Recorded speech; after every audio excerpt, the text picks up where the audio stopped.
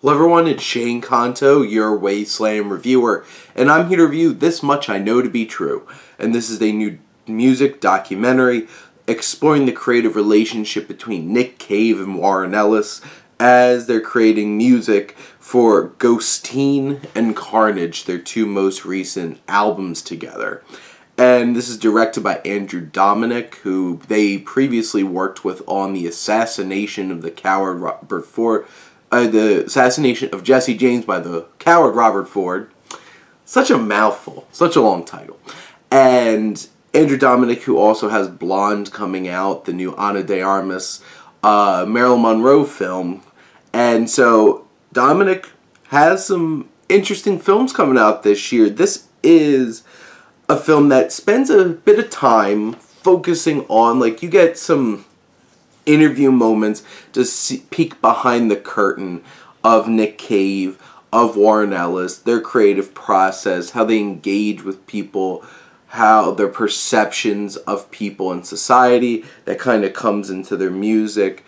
This film, when they're shooting the like the actual performances, is dynamic. The cameras move in interesting and intriguing ways. The lighting they experiment with there's a lot of energy. There's just a passion to these performances from Cave and then Ellis who's doing a lot of like the conducting kind of thing with like the backup singers and some of these performances just like bam hit you.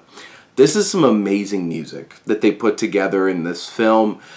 There are some moments where some of the songs didn't resonate as much with their with uh, Cave's like very abstract, poetic kind of lyrics.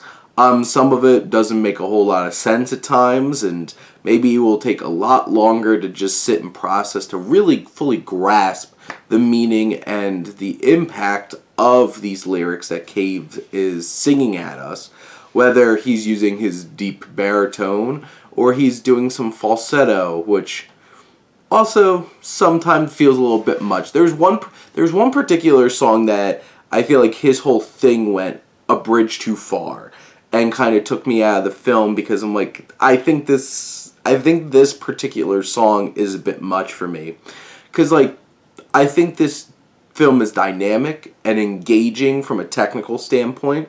I think it's inspiring and engrossing and engaging from a creative standpoint and you get to know these two artists and i think it does a fine job of being bold and minimizing the traditional aspects of a documentary you expect and really focusing on the music. And the music says so much in these deep weird and offbeat kind of poetic uh, lyrical pieces that cave puts together overall this is quite a winner on Mubi. I would highly recommend this. If you do have access to Mubi, I think this should go quite to the top of your watch list because this is something totally engrossing and poignant, especially if you love music, and even more specifically if you love Nick Cave and uh, Warren Ellis's music.